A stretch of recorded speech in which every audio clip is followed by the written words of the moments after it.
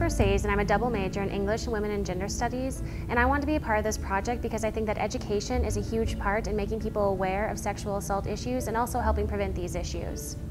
Um, I definitely think that there are um, some myths about misinformation regarding sexual assault on this campus, and I think that really stems from maybe a lack of understanding of the issue and also somewhat of a lack of education. Um, violence prevention educators and the sexual assault prevention programs have really um, just started implementing some programs to help make students aware of what's going on, but people still have this idea in their head that um, people um, accusing somebody of sexual assault is just them regretting bad sex. And I think that stems from a culture of rape where we think it's okay to victim blame.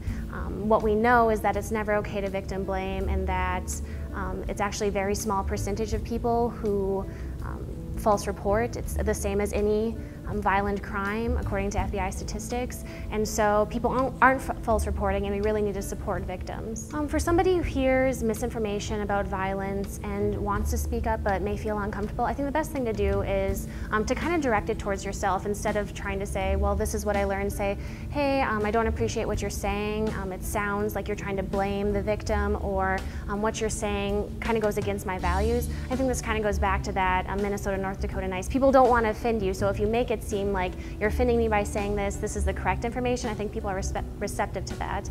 I also think that peer education is a really effective way to change people's minds about things.